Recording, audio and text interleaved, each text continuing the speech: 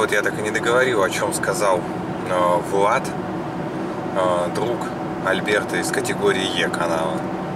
Что, в общем, первые, ну, о работе дальнобойщика. Что первые три часа поездки удовольствия, а потом начинается работа.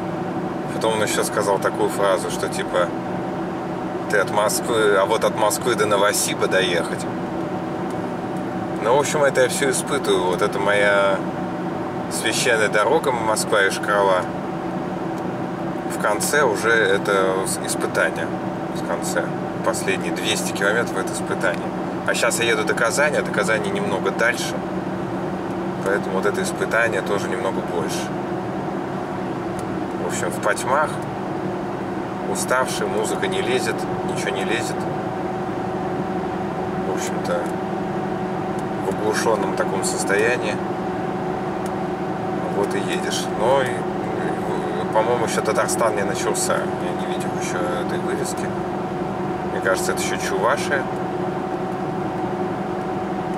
Ну и, судя по всему, Казань все-таки будет взята. Ну и хорошо.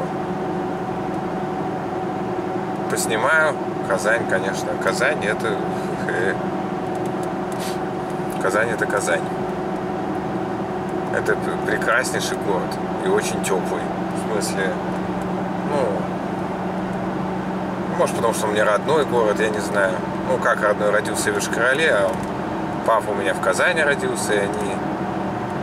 Моя мама там что-то, по-моему, с 6 лет в Казани жила. Хотя родилась она в Краснодарском крае. Ну, Казань, там все родственники всегда жили. Бабушка с дедушкой мои, естественно. Общем, это такая вторая родина. Я туда приезжал с детства все время. Поэтому, конечно, город не чужой.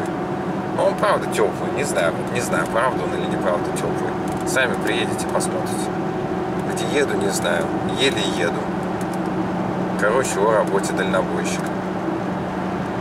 По-моему, Мишани драйвер именно поэтому ночные ролики не снимает, потому что уже, собственно, не блогерствовать, ничего уже не хочется. Хочется уже только лечь спать.